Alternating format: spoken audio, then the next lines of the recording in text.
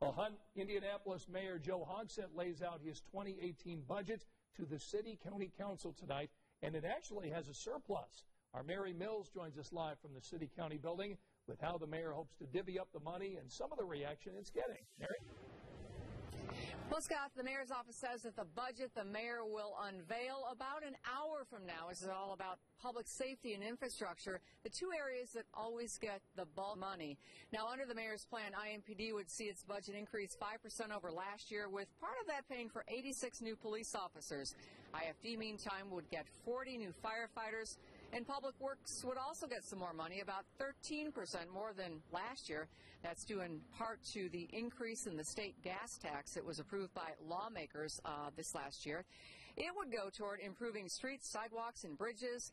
The Council Republican minority leader says he looks forward to seeing the mayor's plan, especially as it pertains to public safety.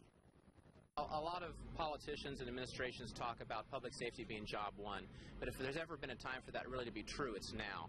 Uh, with the record crime situations we're having, we really have to make sure we focus on having the dollars available to continue to fund recruit classes, get new officers on the road to replace those who are retiring, and make sure we have Indianapolis continue to be a safe place to live and raise a family.